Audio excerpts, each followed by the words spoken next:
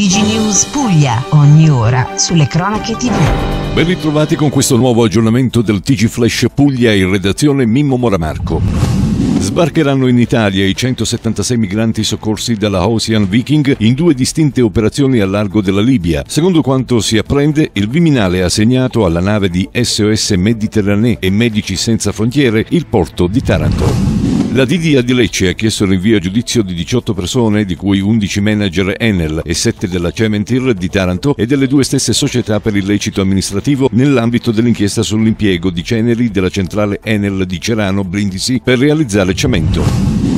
Sono tornati a manifestare sotto la regione Puglia sul lungomare di Bari pescatori di Mola e Monopoli che chiedono di partecipare ai tavoli dove si discute di pesca e di modificare i regolamenti comunitari. Alcune decine di pescatori della provincia di Bari sono tornati così a spiegare le ragioni della loro protesta a soli pochi giorni dalla manifestazione nella quale ci sono stati momenti di tensione. Il prefetto di Foggia, Raffaele Grassi, ha emesso una interdittiva antimafia nei confronti della società Progetto Finanza di Capitanata SRL che gestisce per conto del comune di Foggia i servizi cimiteriali. La società con sede nel capoluogo Dauno è attualmente intestata a Riccardo Orsitti e Giorgia Sala, mentre soci di maggioranza sono gli imprenditori foggiani Giovanni Tresciuglio e Marco Insalata, entrambi amministratori dell'Adriatica Servizi e della CTM, che sono state oggetto qualche settimana fa di altre interdittive antimafia.